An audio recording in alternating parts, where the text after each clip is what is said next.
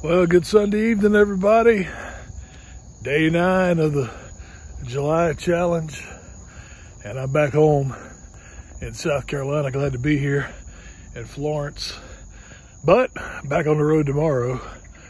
Uh, so I did, I'll be straight up. I missed, I didn't get to walk yesterday. Uh, riding, uh, rained, rained on me. I don't have a treadmill in my house. Uh, I guess it's excuses. I don't know. I just, but hey, I'm back out here today. I'm still pressing on.